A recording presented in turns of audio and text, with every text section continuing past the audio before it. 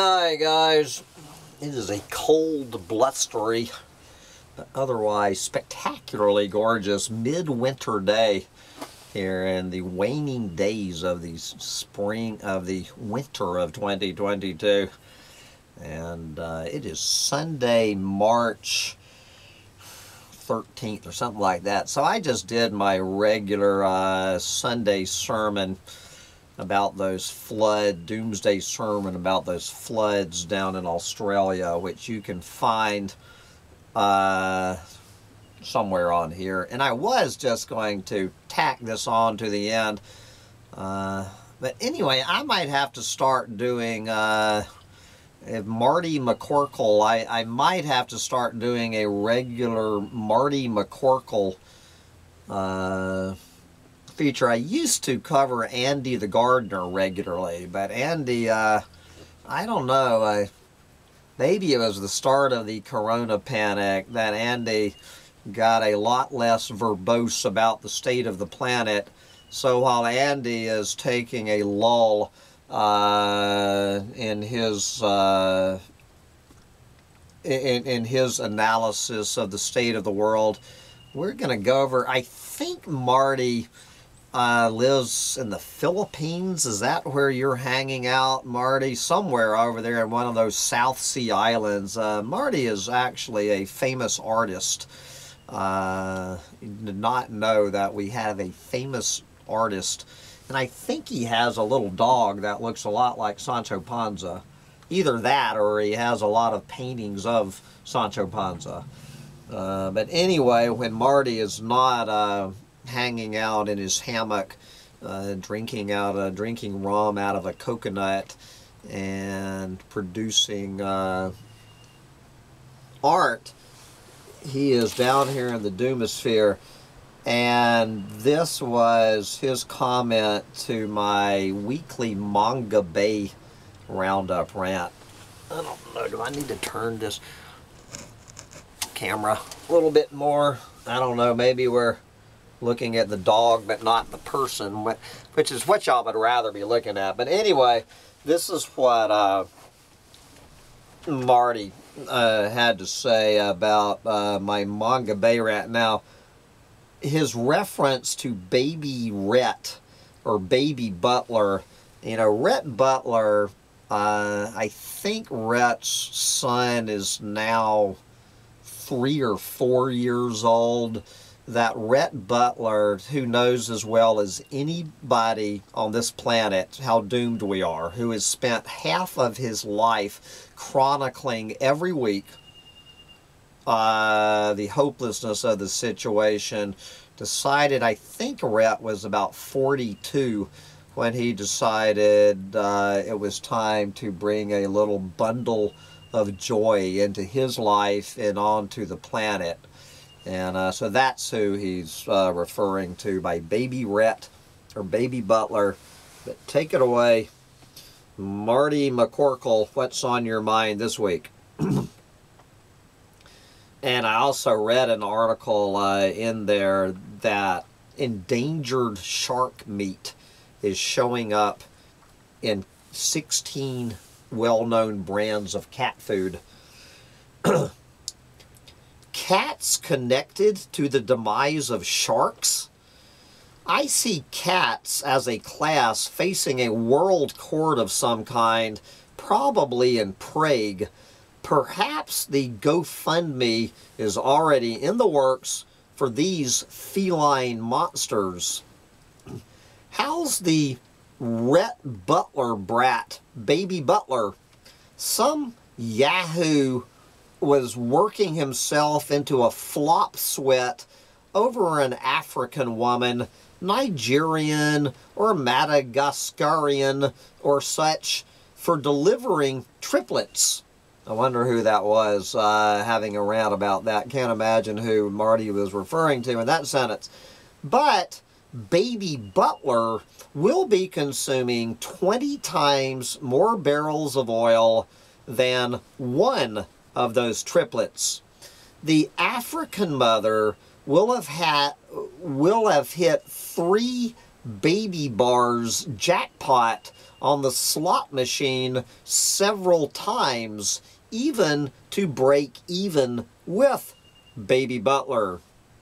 Bless his or her little heart. Pretty sure it's his little heart. But not a drop of sweat, flop or not, has been spent so far on Baby Butler, whose vast consumption dwarfs a quartet of African triplets. Perspective is all about getting perspective. I'm not going to get into a debate with Marty McCorkle over the difference between planet nibbling and planet eating. This is Marty's rant, not mine, although Marty knows damn well uh, the difference between planet nibbling and planet eating. Marty, if you would like to do an essay on the difference between planet nibbling and planet eating, I would love to share it. anyway, back to uh, his his rant. I know I, I am supposed to feel responsible for consuming too much oil, food, and general resources, but frankly, I don't. That is, I neither consume that much of anything, nor would I feel responsible even if I did. Studies have shown that environmentally conscious windbags consume just as much as the environmentally comatose windbags. Thus, preaching does not even improve the preacher. So good luck with enviro preaching. And seemingly every writer of an ecological bestseller, I did not know there was such thing as an ecological bestseller. An ecological bestseller, yes, yes, yes. And seemingly every writer of an ecological bestseller immediately pops out their own baby butler once the royalty checks start rolling in. Other eco preachers like George Monbiot apply the term racist to all mention of our little population overshoot predicament. Concern for population makes one an Adolf in Monbiot's book. So, in all, I'm not feeling responsible and certainly not feeling guilty for the fine mess we are in. I just observe, like watching a suspenseful and very long Hitchcock movie. Population overshoot is jolly, but the resulting hangover is deadly, if not fatal. Die back, or die off, or die down, or the euphemism of population decline seems a tad sad. So stay calm and breed on and celebrate the coexistence of humans inside national parks cultivating traditional crops such as hardwoods. These old growth trees have long been a cash crop even back to the stone axes in Iceland, which used to be forested until humans moved in to pursue traditional farming. Everything is going swimmingly. and don't tell me people around the world don't think about getting ahead and that I am simply projecting.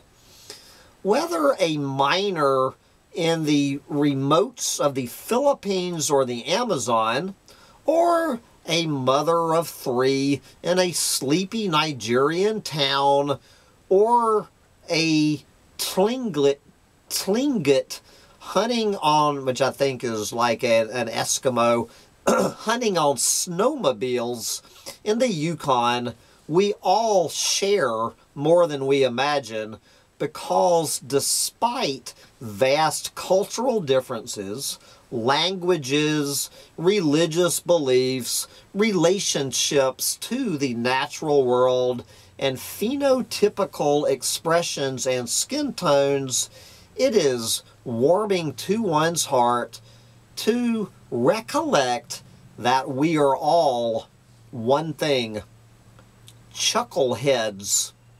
That's what we all share chuckle headedness. we humans are yahoos carousing about looking for a good time. Whether as Shriners at a Chicago convention or Cherokee on the Great Plains, readying for a tussle with a neighboring tribe.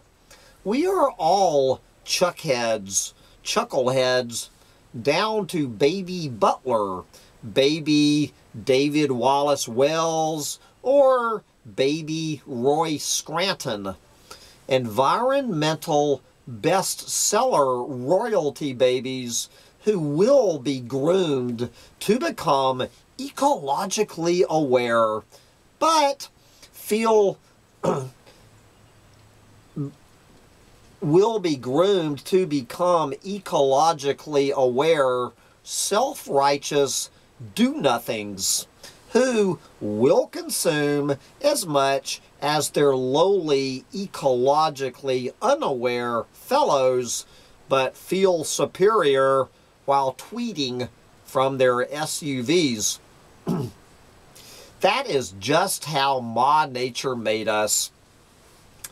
We may take umbrage for having our population overshoot graph being demonstrated as identical to that of our great grandparents, the bacteria. But the graphs overlay picture perfect from the up and faster up in numbers, from the up, up, and faster up in numbers, then the crest of slowing population growth and rounded out with the inescapable population decline. Are we no smarter than bacteria? Well, maybe bacteria are chuckleheads too, but they certainly have more staying power than we humans do, beating out our 250 year population boom by a billion years or two. Plus, bacteria are still going strong, enjoying job growth in cheese and potentially in petroleum and plastic garbage in the Pacific. We humans are shaping up to be a flash in the fossil fuel pan first the population boom, then the shut up Adolf peak, and finally sliding down in our numbers into a chronic grave holes shortage. Sure, we make a hash of nature, destroying it faster than it can replenish itself feeling bad for it, fine by me. You do that and see if it changes our species' collective destructive behavior. Statistically, it will not even change your own behavior, but finger pointing eh, is nobler than nose picking. But I like to bend that J accused finger to whom it should be pointing namely at Ma Nature herself, who invented us chuckleheads in the first place. Sure, we are burning down her experimental life lab, lock, stock, and test tube, but old Ma Nature has conjured us into existence and rewards us for our extraordinary gifts as overshooting chuckleheads. We are guaranteed to make a splash in Ma Nature's dusty photo album, The Earth Fossil Records, sharing a page with giant dragonflies, T-Rexes, and other defunct grand oddities that are worth a slack-jawed gawk. We continue to imagine that we are not nature, dehoming orangutans and cutting fins off sharks. The fish itself dropped into the deep blue sea to die to make a weak soup when bats are not in season. But we ourselves were nature all along, from our heads to our toes. We might have had a chance to survive as an amply represented species if we had understood that fact a while back. But we are chuckleheads, meaning we are a tad less bright than the bacteria who, who will outlast our brief hegemony. Even now, we still imagine that we are in control of our destiny and that have the upper hand banking on our clever inventions to assure another good time in Hail Mary passes of renewable and carbon capture gimmicks. But this very cleverness, this very cleverness guarantees that the bulk of our vast numbers, our institutions, our technologies and government for and by the people shall perish from the earth. The factually based message consume less and don't have kids just does not poll well. So you are going away, folks. Cheer up. It's not your fault, kiddo. The fault is not in our stars, dear Brutus, but in our chuckle-headedness. Good luck, everyone, including baby butler and triplets everywhere. Thank you, Marty McCorkle, for uh, that grand opus on chuckle-headedness. And uh, we will see if Marty has the energy uh, to come up with another one for next week. But anyway, I've procrastinated as long as I can, and uh, I have to venture out into the Arctic blast of uh, central Florida in the middle of March what was it, a couple of weeks ago, it was like 17 degrees above normal, and now it is like 27 degrees below normal. Normal. The, the very term normal, uh, you know, when, when you read this term, uh, how many degrees above normal, how many degrees below normal, how much more rain than normally falls, how much less rain than normally falls. We just need to get the whole concept of normal out of the equation. This is the new abnormal. Uh, anyway, get out there and enjoy the abnormal while you still can, chucklehead. Yes, you little shivering dog. My little dog is in full shiver. You need to get out there and get some squirrelies, but the squirrelies are probably hiding in their nest today. Bye, guys.